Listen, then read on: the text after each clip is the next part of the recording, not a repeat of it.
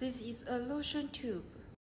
It can be fitted with different lids, pumps, or springs. We can customize the colors and the sizes.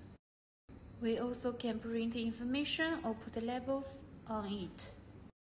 Our production experience is rich and the product quality is stable. And our products are not toxic, harmless, high temperature resistant, hygienic, safe, and reliable.